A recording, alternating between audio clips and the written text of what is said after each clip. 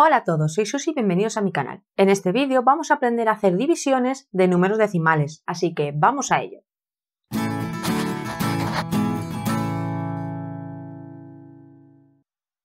En este vídeo vamos a diferenciar tres tipos de divisiones. El primer tipo que vamos a ver va a ser cuando las divisiones tienen decimal en el dividendo.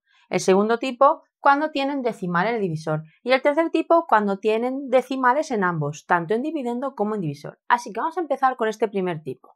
¿Cómo hacemos la división cuando en el dividendo tengo un número decimal? Pues muy fácil. Dividimos normal, ¿vale? Hacemos una división como si no tuviera decimales hasta llegar aquí, ¿vale? Así que vamos a empezar a dividir.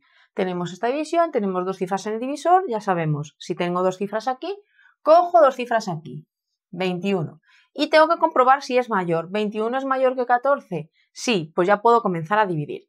Ya sabéis, las unidades con las unidades, las decenas con las decenas. Y tengo que buscar en la tabla del 1 un número que al multiplicarlo se acerque más al 2. Sería el 2, ¿verdad? Pruebo con el 2. 2 por 4, 8. A 11 se va a pasar, ¿verdad? Así que como el 2 se va a pasar, pongo ya el 1. Bien.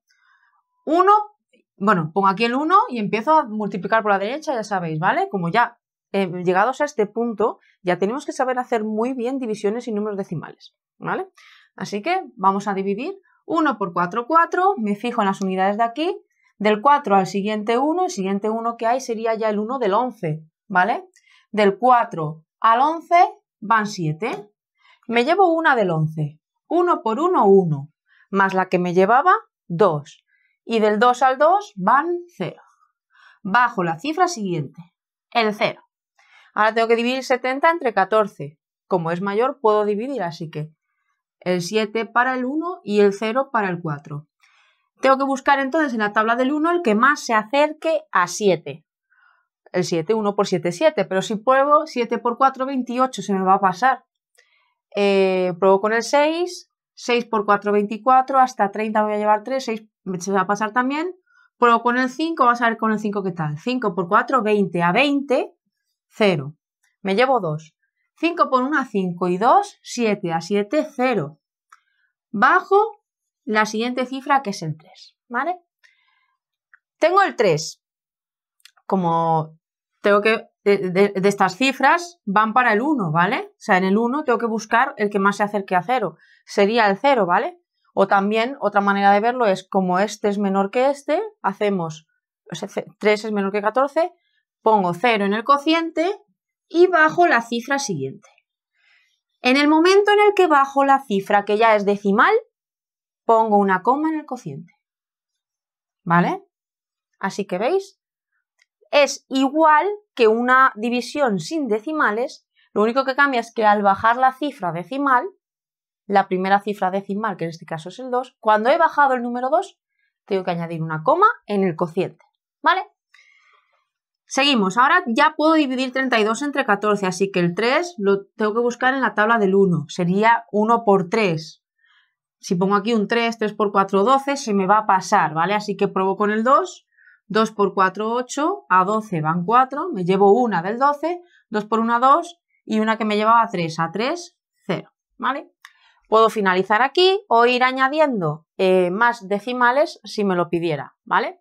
¿Cómo haría para añadir decimales? Voy a añadir uno más. A veces eh, os piden, añade dos decimales o añade tres, lo que os pidan los profes. Vamos a suponer que a nosotros nos piden poner siempre dos decimales en las, eh, en las divisiones como máximo, ¿vale? Pues venga, como no me ha, no me ha salido resto cero, añadiría una cifra más. Ya sabéis que si tengo que sacar más decimales, me invento un cero aquí, bajo un cero y tendría que poner coma en el cociente si no hubiera ya. Pero como ya hay coma, ya no tengo que poner coma, ¿vale? Y empiezo a dividir, ¿vale? El 4 en la tabla del 1 lo busco, 1 por 4, 4 sería, pero con el 4 me voy a pasar. Probad, ya veis cómo se pasa. Ahora pruebo con el 3. 3 por 4, 12.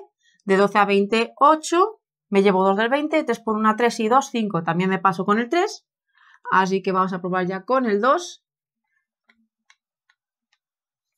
2 por 4, 8, a 10, 2, me llevo una del 10, 2 por 1, 2 y una que me llevaba 3, del 3 al 4, 1. Y aquí ya corto porque a mí me han pedido solo dos decimales, ¿vale? ¿Veis? Muy sencillo. Dividendo con decimal, hago la operación como si fuera una división sin decimales, teniendo en cuenta que cuando baje la cifra que ya es decimal, pongo una coma en el cociente. ¿Y cómo hago la prueba de este tipo de divisiones? Atentos porque no es igual que una división sin decimales. Como veis, efectivamente, para hacer la prueba de una división, recordamos, multiplico cociente por divisor, le sumo el resto y me dará el dividendo si es que está correcta. ¿Vale? Así que esta primera parte sí la hacemos. Multiplicamos el cociente por el divisor, ¿vale? Aquí tengo la multiplicación. Recordamos rápidamente que para multiplicar no hace falta colocar unidades con unidades, decenas con decenas, se coloca de cualquier forma. La clave es multiplico como si no fuera decimal.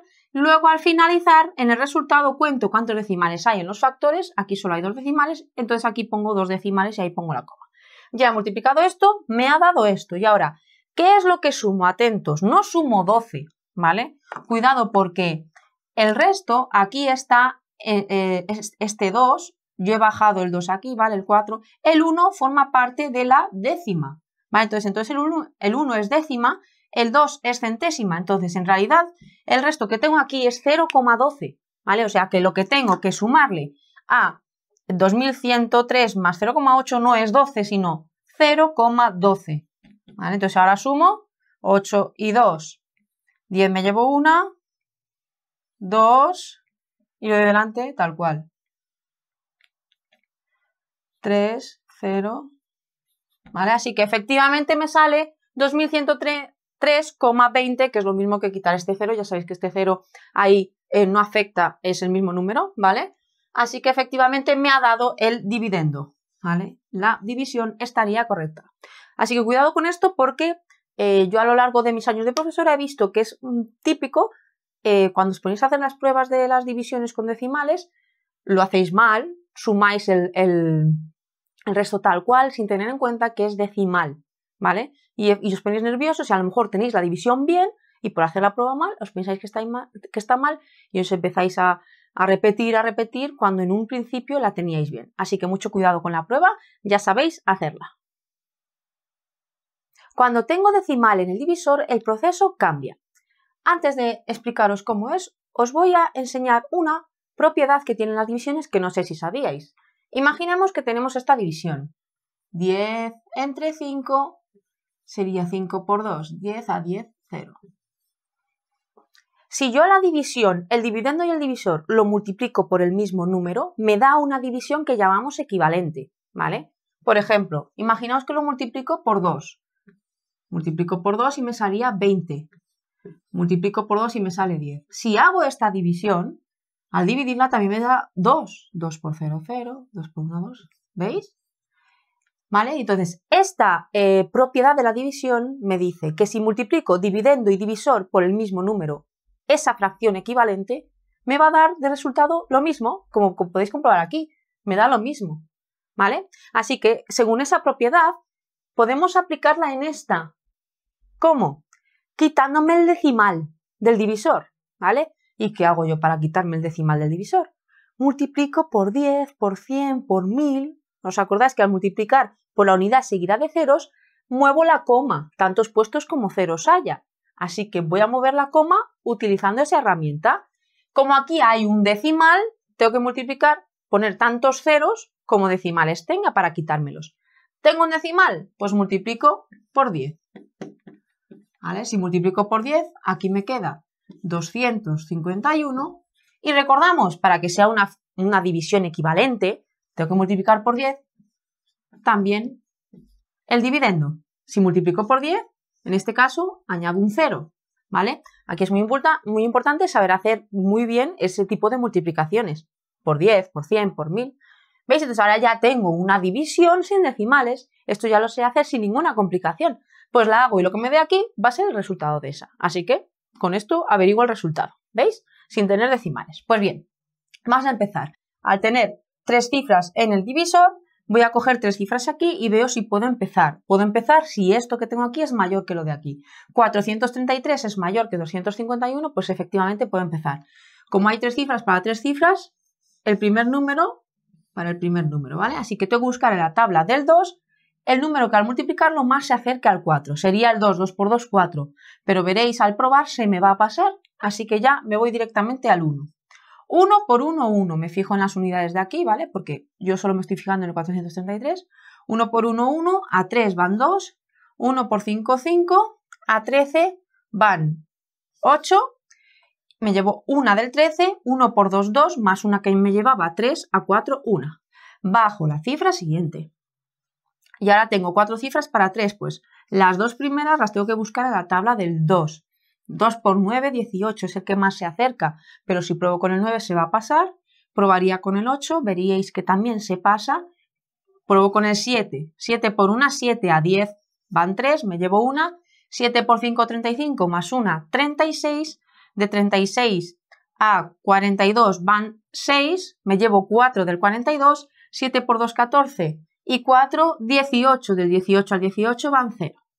Puedo terminar aquí o si me piden sacar decimales, saco los decimales que me pidan. Voy a sacar yo un decimal, ¿vale? Para ver cómo sería sacar decimales, porque el resto no es cero. Vale, llego aquí, el resto no es cero, me piden sacar decimales, ¿qué hago?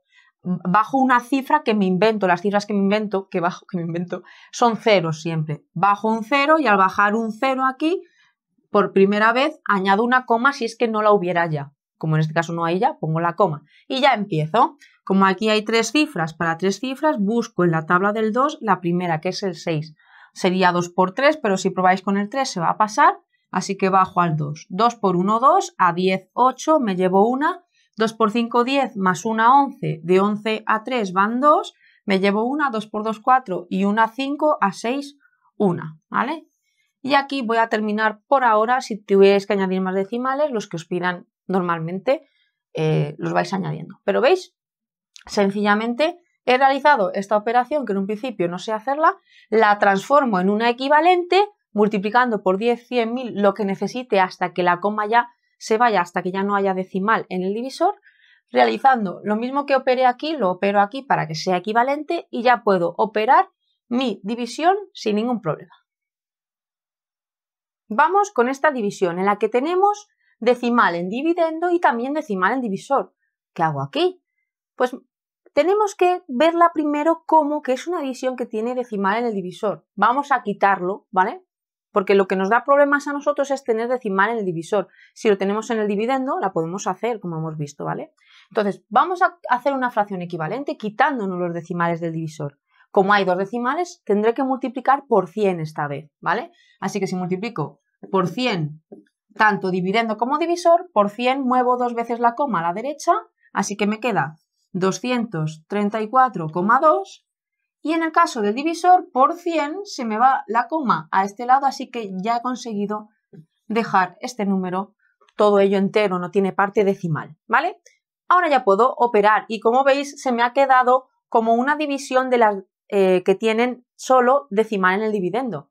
¿Qué tengo que hacer entonces? Operar la división normal hasta llegar a bajar esta cifra. Cuando bajo la cifra decimal, añado coma en el cociente. ¿vale? Así vamos a empezar a dividir. Importante. Tengo aquí tres cifras en el divisor. Si cojo aquí tres cifras, 234 lo puedo dividir entre 365. Es menor, ¿vale? Así que como es menor, voy a tener que coger, no me vale con 3, no me es suficiente. Tengo que coger en este caso 4. Y cuidado, como he cogido ya, al coger todas las cifras, ya he cogido decimal, tengo que añadir aquí 0 y ya la coma, porque ya estoy añadiendo parte decimal, ya tengo que poner la coma. Como no puedo poner coma sin más, añado un 0 delante. ¿Bien? Y ahora ya empiezo a operar. Tengo que buscar, como hay cuatro números para 3, en la tabla del 3 tengo que buscar el 23. Sería 3 por 7, el que más se acerca, 21. Pero si pruebo con el 7 se va a pasar, así que voy a probar con el 6. 6 por 5, 30, 32, van 2. Me llevo 3, 6 por 6, 36. Y 3, 39. De 39 a 44, 5. Me llevo 4 del 44. 6 por 3, 18. Y 4, 22. Del 22 al 23, 1. Si queréis, añado un decimal más para tener los decimales. Si quisiera añadir un decimal más, lo único que bajo una cifra más, que sería un 0. No hace falta que añada coma al cociente porque ya la tengo, así que empiezo directamente a dividir. Como hay cuatro cifras para 3, las dos primeras las tengo que buscar en la tabla del 3. 3 por 5 sería el que más se acerca, porque sería 3 por 5, 15, pero si lo pruebo se va a pasar, así que pongo el 4. 4 por 5, 20, a 20, 0, me llevo 2. 4 por 6, 24, y 2, 26. De 26 a 32 van 6. Me llevo 3. 4 por 3, 12 y 3, 15 a 15, 0. Y voy a terminar aquí ya porque no me pide sacar más decimales. Me imagino que os piden solo dos, pues ya termino ahí. ¿Vale? Pero importante, de aquí hemos visto dos cosas. La primera es que si tiene eh, decimal en ambos, simplemente me quito, me, me, centro en quitar los decimales del divisor y luego veo si me queda aquí en el dividendo decimal, lo opero y si no, pues lo opero también como si fuera sin decimales. Y segunda cosa que hemos visto, si al coger eh, para empezar a dividir ya eh, en ese número estoy cogiendo el decimal, tengo que añadir un 0, para poder empezar a dividir correctamente. Aquí os dejo tres divisiones para practicar, ¿vale? Os recomiendo en este punto parar el vídeo, las hacéis y luego continuáis porque enseguida aparecerán las respuestas. Así que ahora mismo parad el vídeo y os ponéis a hacerlas. Aquí tenéis ya los resultados de las divisiones. Vamos a ir rápidamente un poco por ellas. Aquí como vemos tenemos una división cuyo dividendo es el que tiene el número decimal. Dividimos, para ello necesitábamos dos cifras del divisor, mirábamos las dos cifras, 10 como era menor tenía que coger tres cifras. Al coger las tres cifras, como ya incluye el decimal en esas tres, he tenido que poner un 0, y ya he empezado a dividir y me ha dado este resultado. Al sacar dos decimales ya me daba de resultado 0 eh, en el resto. Aquí tenemos una división cuyo divisor es el que tiene el número decimal. Pues para ello hacíamos lo de fracción equivalente, multiplicando por 100, dividendo y divisor, porque aquí al haber dos decimales tengo que mover dos puestos la coma, por lo tanto pongo dos ceros, sería el 100. Multiplico por 100, me quedaría el dividendo 30.700 y el divisor ya me queda como 4, ya realizo esta división, que además es de una sola cifra en el divisor, súper sencillísima, ¿vale? Además, veis que me daba exacta, o sea que no he tenido ni que sacar decimales. Y aquí en esta, lo mismo, tenía decimales en dividiendo y divisor. Mi objetivo es quitarme de aquí la parte decimal, para ello multiplico por 100 porque hay dos decimales si multiplico por 100 me queda 823, si multiplico por 100 aquí me queda 2636 y comienzo a dividir. Al comenzar a dividir, la parte entera me quedaba 3, como no me daba exacto, he decidido añadir un decimal más. Aquí añadir los decimales que normalmente os pidan, así que añadiendo un decimal más seguía sin salirme el resto cero, pero este sería el resultado. Y hasta aquí el vídeo de hoy. Si te ha gustado el vídeo, dale a me gusta y compártelo. Suscríbete a este canal y sígueme en mis redes sociales si quieres estar al tanto de nuevos vídeos y ejercicios. Que tengas un buen día y nos vemos en el próximo vídeo.